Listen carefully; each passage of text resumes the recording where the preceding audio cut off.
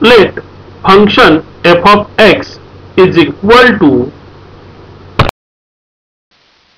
kx plus 1 if variable x is less than or equal to 5 and it is equal to 3x minus 5 if variable x is strictly greater than 5.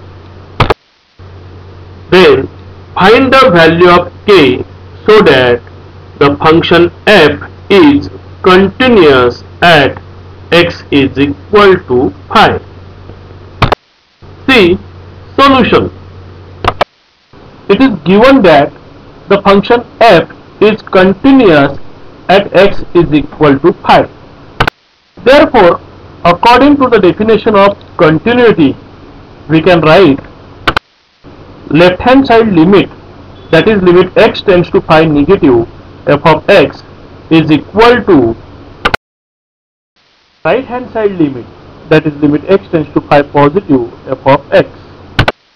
Therefore, according to given information, we can write function fx at the left hand side that is limit x tends to 5 kx plus 1 because if x is less than or equal to 5 the value of fx is kx plus 1 so this is left hand side limit of the given function fx which is equal to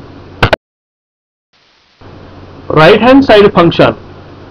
Means if x is greater than strictly greater than 5 then the function is 3x minus 5 so limit x tends to 5 3x minus 5 therefore solving the limits we get k into value of x that is 5 plus 1 is equal to at right hand side 3 into x that is 5 minus 5.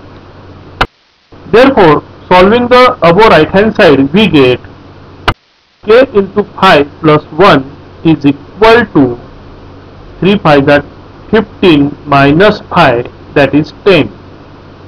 Therefore, solving the above, we get value of k is equal to 9 upon 5. Value of k is 9 upon 5. So friends, Subscribe this channel to learn maximum maths problems important for IIT exam.